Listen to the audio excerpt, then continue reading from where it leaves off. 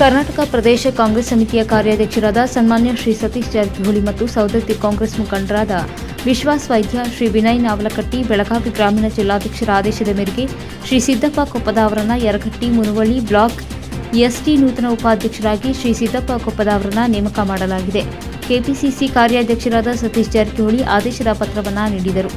ಅಖಿಲ ಭಾರತದ ಕಾಂಗ್ರೆಸ್ ಸಮಿತಿ ಸನ್ಮಾನ್ಯ ಶ್ರೀಮತಿ ಸೋನಿಯಾ ಗಾಂಧಿ ನೇತೃತ್ವದಲ್ಲಿ ರಾಜಕೀಯವಾಗಿ, ಸಾಮಾಜಿಕವಾಗಿ, ಶೈಕ್ಷಣಿಕವಾಗಿ, ಆರ್ಥಿಕವಾಗಿ ಪಕ್ಷದ ಸಂಘಟನೆಗಾಗಿ ದುಡಿಯುತ್ತಿದ್ದಾರೆಂದು ಪಕ್ಷವು ತಮ್ಮನ್ನು ನಂಬಿ ತಮಗೆ ಈ ಜವಾಬ್ದಾರಿಯನ್ನು ವಹಿಸಿರುತ್ತದೆ. ಇನ್ನು ಮುಂದೆ ಈ ಪಕ್ಷದ ಎಲ್ಲ ಸಿದ್ಧಾಂತಗಳಿಗೆ ಬದ್ಧರಾಗಿ ಪಕ್ಷದ ಸಂಘಟನೆಗೆ ತಕ್ಷಣವೇ ಜವಾಬ್ದಾರಿಯನ್ನು ವಹಿಸಿಕೊಳ್ಳಬೇಕೆಂದು ಬೆಳಗಾವಿ ಜಿಲ್ಲಾ ಗ್ರಾಮೀಣ ಕಾಂಗ್ರೆಸ್ ಸಮಿತಿ ಪರಿಶಿಷ್ಟ ಪಂಗಡದ ಅಧ್ಯಕ್ಷರಾದ ಬಾಳೇಶ್ ದಾಸನಟ್ಟಿ ತಿಳಿಸಿದ್ದಾರೆ.